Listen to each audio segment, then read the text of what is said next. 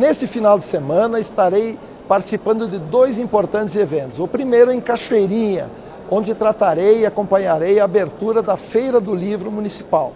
Essa Feira do Livro é importante, tem o patrono Luiz Fernando Veríssimo, e para mim que luto pela formação e educação das pessoas, vou considerar essa feira como prioridade do meu mandato nesse final de semana.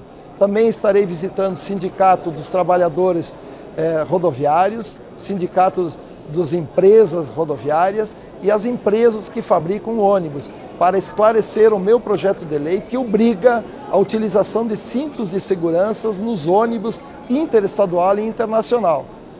Duas pessoas morrem por dia no Brasil por não utilizar os cintos de segurança.